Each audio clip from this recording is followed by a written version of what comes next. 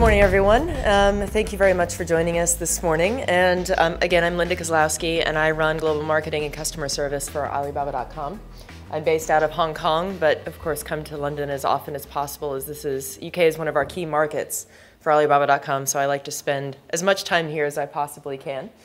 So um, let me give you a little bit of information about, um, about Alibaba.com and tell you a little bit about the company as well as some of the trends that we're seeing that you can take advantage of as a business. So first of all, we want to talk a little bit about why you are so important. Um, there's a lot of focus in the world on big business. There's a lot of discussion about big business. There's a lot of discussion about job growth in big business. But the obvious fact that all of you know and um, most of the governments of the world know is that most of our economic growth, most of our e economic stability, most of our economic strength um, is really about small and medium businesses. They're the ones that drive the economy and they're the ones that create sustainable economic situations. Um, if you look at just what happened in 2008, it's pretty obvious to see that when large companies fail, they fail hard. Um, but when your when your risk and when your economic stability is spread across a lot of small and medium businesses, you have a much better chance of creating stable growth, not only for the globe but also for your local economies as well. So it's really, really important that we give as much access and as much um, opportunity to small and medium businesses as possible.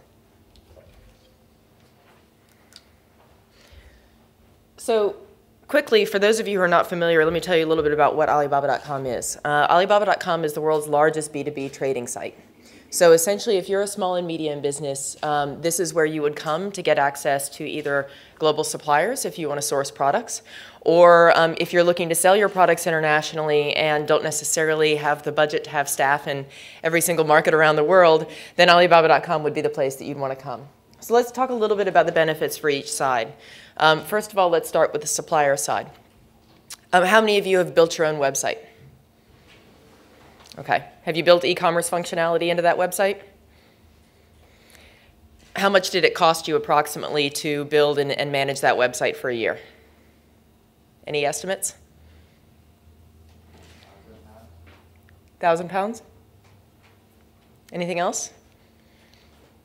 So once you build that website, say you spend a £1,000 to build and manage that website for a year, who's going to come to that website? Then you actually need to market that website to people globally um, or even locally. And that can get quite expensive. That can require a lot of staff, that can require a lot of expertise, and particularly if you want to reach 240 countries, which is where, what Alibaba reaches for you, um, that can get into quite a cost for you uh, going forward. So for around 1,900 pounds a year, you could actually put your products on Alibaba.com and have access to 22 million buyers globally, 24 hours a day, seven days a week, with no transaction costs or charges. So if you're a supplier, then what we can do is we can help you as a small and medium business expand your reach and find new customers globally for a very low annual fee uh, that's a predictable cost. And it allows you to reach those markets without necessarily having to have separate marketing campaigns in each one of those areas. We bring the people to you that are already pre-qualified and interested in buying your products. If you're a buyer, then um, it's, it's, a, it's a completely different situation because we don't actually charge you at all. If you're a buyer on Alibaba, Alibaba.com, you can come to the site, you can look for suppliers all over the world, you can find raw materials to manufacture your products if you want to import and then manufacture using the raw materials. You can find finished products or you can invent something new. If you have an idea for a product and you want to create a prototype, you can go on our site and you can find people that actually help you create that prototype and then can manufacture it for you down the road. So we work with a lot of different companies across the board, but one of the advantages that we give is, again, we focus on small and medium businesses. So the large companies of the world don't necessarily need help from someone like Alibaba.com because they have buyers all over the world or they have marketing teams all over the world. And so the, the Boots and the Tesco's and everyone else in the world can find those products pretty easily and source from those manufacturers pretty easily. But what we're trying to do is we're trying to level the playing field for the small and medium businesses and help them get access to global markets either for sourcing materials or for selling their finished products.